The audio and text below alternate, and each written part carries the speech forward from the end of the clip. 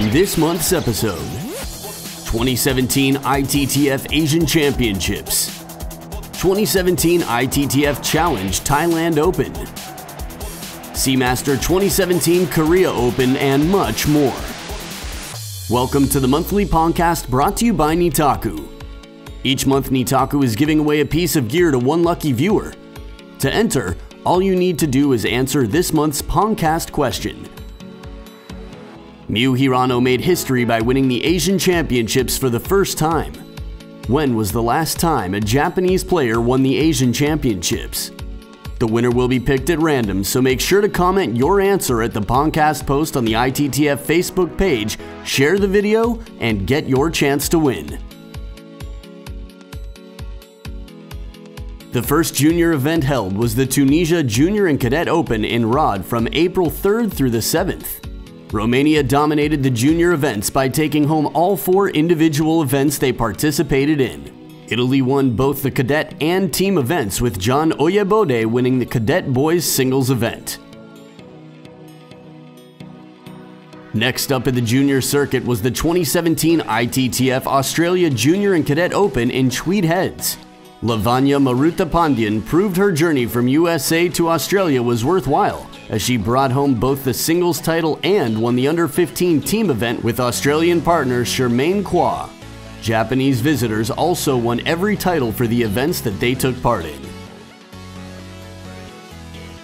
The third junior event was the Belgium Junior and Cadet Open in Spa. Lilian Bardet won both the under 18 boys singles and doubles titles, while USA's Amy Wong took home three titles.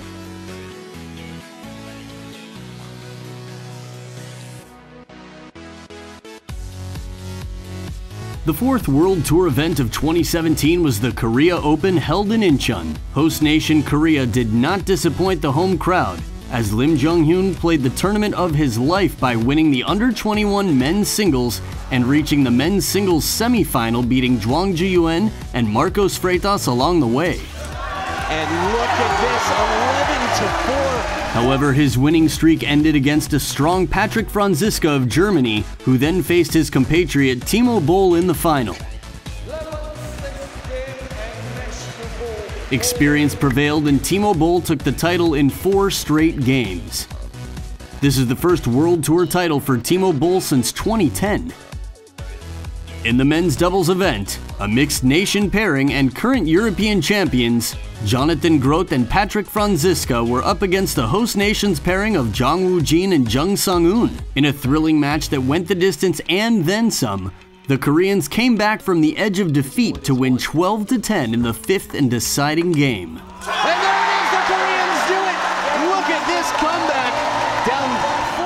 In the women's singles semifinal, recently crowned Asian champion Miu Hirano faced Kasumi Ishikawa. Having lost to Hirano in their previous matches, Ishikawa managed to take revenge and booked her ticket to the final. There she met Feng Tianwei of Singapore. However, Ishikawa couldn't keep up her winning streak and lost to her longtime rival 4 games to 2 in the final. This is Feng's third Korean Open title and ninth title of her career.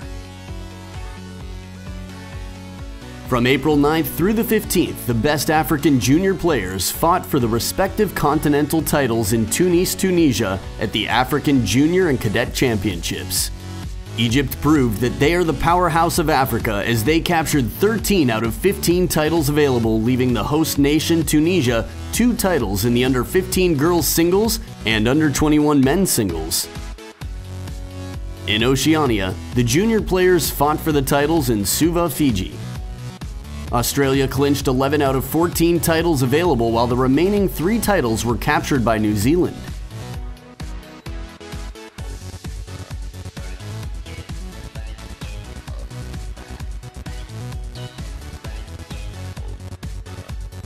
From April 15th through the 16th, the Oceania Cup was played in Suva, Fiji. Dave Powell from Australia won the Oceania Cup for the second time in his career, fending off opposition from colleague Kane Townsend 4 2 in the men's singles final. In the women's final, experienced Lei Jianfang lifted the Oceania Cup once again, beating Melissa Tapper with the same score of 4 2. There it is. While the bronze medals were taken by 16-year-old Solène Danger of New Caledonia and Joshua Shing from Vanuatu respectively, both winners successfully qualified for the World Cups in October. On April 28th, the fourth edition of the ITTF Legends Tour was held in Metz, France. The Legends Tour is a blast from the past with legendary table tennis players picking up their rackets again to wind back the clock and resume their rivalry on the world stage. Past legends Jorgen Persson of Sweden, Germany's Jorg Rosskopf, Belgium's Jean-Michel Saive, China's Zhang Jiliang, Greece's Panagiotis Gionis, and Christophe Legoût of France took part in this year's edition. In an entertaining four-hour competition, Germany's men's head coach Jorg Rosskopf emerged as the winner in an exciting final match against Saive. À l'image. euh,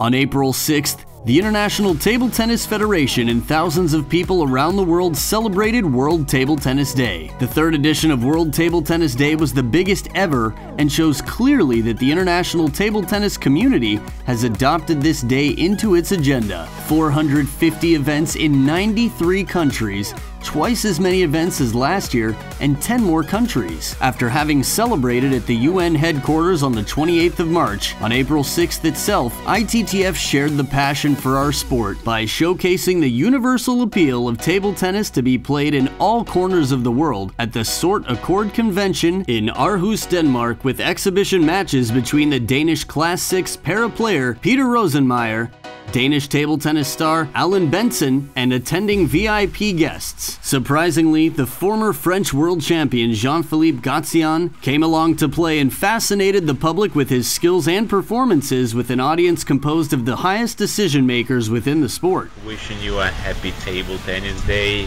Keep enjoying playing our beautiful sport and have a lot and lot of fun. The ITTF has signed a groundbreaking strategic investment agreement with ITTF Oceania. The deal, which was signed today, involves the ITTF investing significant financial and human resources into the region to assist its commercial growth and the popularity of the sport. Apart from through the award winning ITTF development program, ITTF Oceania has not had full time staff previously, and this investment will provide significant opportunities to grow the sport throughout the region. This is a milestone moment in the history of table tennis within Oceania that will create opportunities and benefits for ITTF Oceania, ITTF, and table tennis in general. The world's best Formula One drivers got the chance to play the newest form of table tennis, TTX, against Chinese table tennis legend Wang Liqin before the Chinese Grand Prix in Shanghai, China. Fernando Alonso, who drives for the team of McLaren Honda, Daniel Ricciardo and Max Verstappen from Red Bull Racing, and Felipe Massa, who drives for Williams, all tasted the new revolution of the sport. This unique event, organized jointly by Formula One and the ITTF, was held at the Shanghai International Circuit in front of a huge audience and guests from international media. TTX is designed in a way that the sport can be played literally anywhere. It features a bigger and heavier ball and simplified rackets with less spin. TTX is suitable for outside conditions. The entry list for the Liebherr 2017 World Table Tennis Championships has been announced with an impressive 613 athletes making the trip to Dusseldorf, Germany for the biggest table tennis event of the year. For the first time in history, players from Afghanistan, Oman, Palestine, and Tahiti will be amongst the 108 countries fighting to be crowned world champion in the event that will be held from May 29th to June 5th, 2017 at the Messe Dusseldorf. There are five titles up for grabs in Germany men's singles, women's singles, men's doubles, women's doubles, and mixed doubles. Qualification for the singles main draw of 128 will start on May 29th, with the main draw starting May 31st. The women's champion will be crowned on May 4th and the men's on May 5th.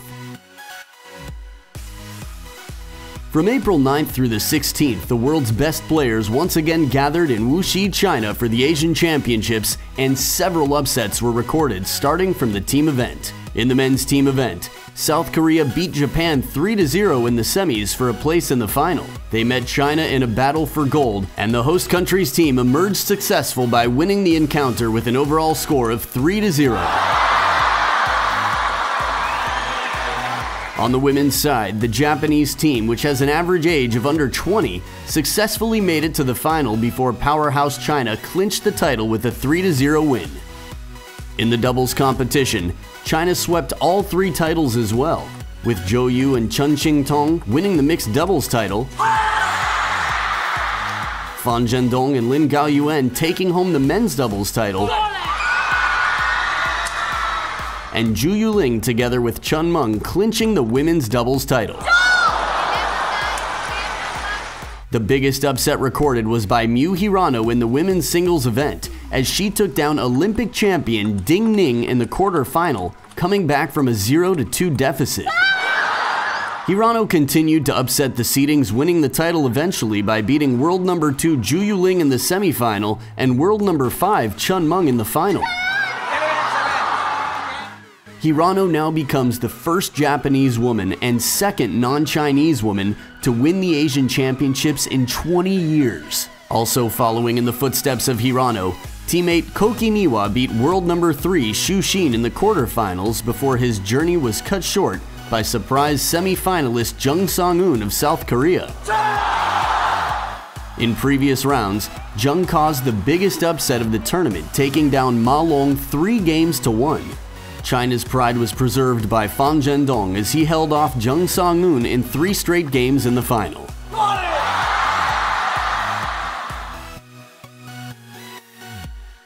In Tunis, Tunisia, the first continental qualification event for the 2018 Youth Olympic Games was held. Two boys and two girls successfully booked their tickets to Buenos Aires next year. Two ITTF Challenge tournaments were held in April, First up was the 2017 ITTF Challenge Thailand Open in Bangkok. Japan top 12 winner Jin Ueda had a solid outing as he brought home the men's singles title over Gao Ning from Singapore and teamed up with Kenji Matsudaira for the doubles title. Hitomi Sato of Japan captured her second Challenge Series title in a month. And together with her opponent in the singles final, Honoka Hashimoto, she also won the doubles title. During the last weekend of April, two Challenge Series events were held. In Otočec, the Slovenian Open took place. 36-year-old Bastian Steger of Germany won his first ever ITTF Challenge Series title, beating Jon Persson of Sweden in a nail-biting seven-game match. Persson was also appearing in his first ever men's singles final. Meanwhile, Hitomi Sato won her third Challenge Series title of the year beating Georgina Pota of Hungary while the men's doubles title went to the unseeded Korean pairing of Choi Won-jin and Lee Jung-woo. Gina Pota won the women's doubles title together with her partner from Sweden, Matilda Ekholm.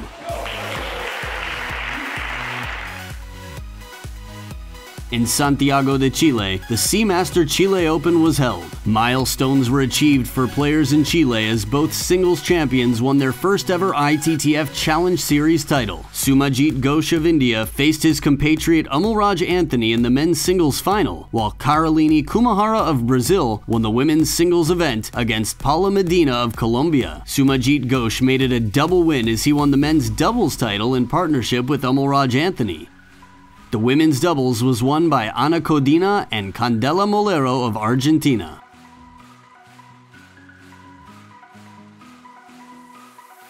And to end the show, here's Match Point featuring the best point in the month of April.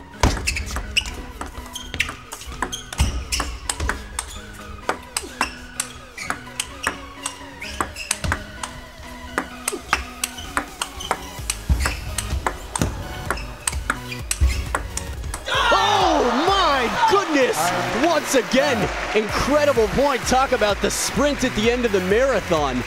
So that wraps up the month in review for April 2017. Stay tuned for more exciting table tennis news.